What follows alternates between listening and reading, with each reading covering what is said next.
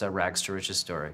But these guys who were really headed in the wrong direction, um, who still kind of were headed in the wrong direction even as they were heading in the right direction, but they became, you know, singing superstars and uh, kind of took that from the streets Jersey energy into the recording studio and became really a phenomenon.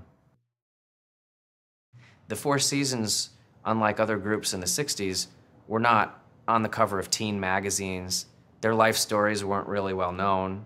People knew the music, but when they came to see Jersey Boys on Broadway, it was the first time that they were discovering the story behind the music and these really colorful Jersey, you know, American Jersey characters, you know, that uh, are, are now part of American lore.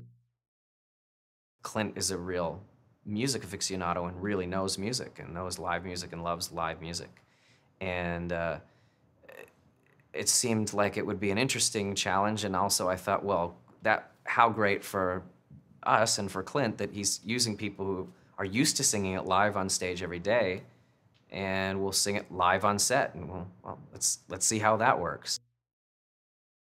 Chris Walken, when I saw that he was announced for Gyp DeCarlo, was just, you know, like, well, perfect casting. so excited to, to, do this, to do this movie with him. And, uh, and he showed up on set and everyone was just really excited to be playing with him because he's, I mean, the perfect casting for the character. Jersey Boys has opened up that period of music again for a lot of people and also for me as a singer. I mean, uh, there's some fantastic, fantastic songs there that I don't think anybody has really ever considered that are old enough now to be standards.